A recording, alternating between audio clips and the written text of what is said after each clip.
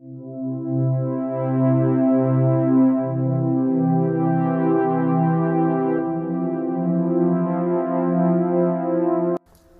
everyone.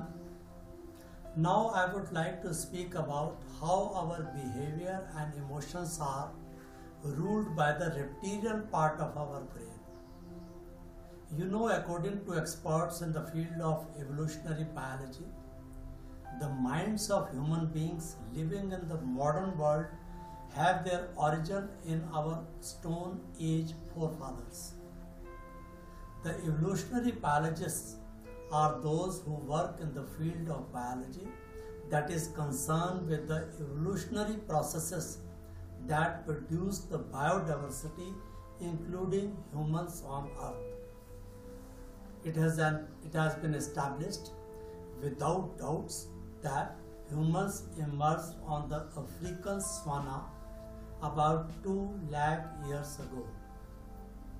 People today still have those traits that made survival in that era possible. We all know that life at that time was very short, fragile. They were constantly under threat from predators, harsh weather conditions, and impending natural disasters. That is why evolutionary scientists argue that although the world has drastically changed, human beings have not. Humans who survived the extreme conditions of Stone Age adopted successfully the survival strategies so as to avoid those threats. They relied mainly on their reptilian part of brain, which is the most ancient part of our brain, developed over 100 million years ago. On the other hand, our higher brain, that is neocortex, came only about 40,000 years ago.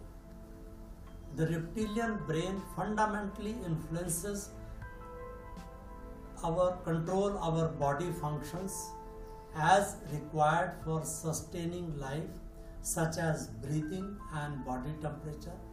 The basic emotions of love, hate, fear, lust and contempt originates from this area of the brain.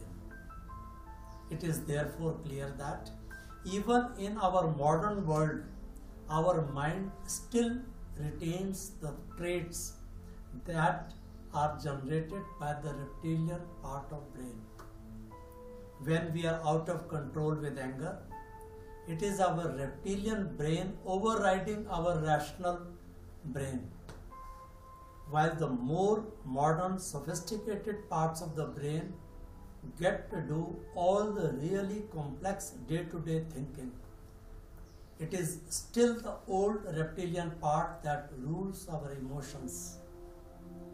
When we calm the reptilian brain, we have more control over our thoughts and our intentional behavior.